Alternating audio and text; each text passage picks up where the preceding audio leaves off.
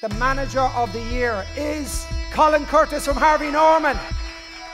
I'm absolutely over the moon with it. Uh, it really means a, a, lot to Harvey Norman and a lot to me. Um, Harvey Norman are a great crew to work for. That's the biggest thing for me, helping people uh, be the best they can be and obviously then there's the customer side of things and delivering the best customer service we possibly can to our customers. It's been fantastic. REI have put on a fantastic show. Really looking forward to tonight. So this is one down. Hopefully we can win store of the year up in our Boucher Road store as well.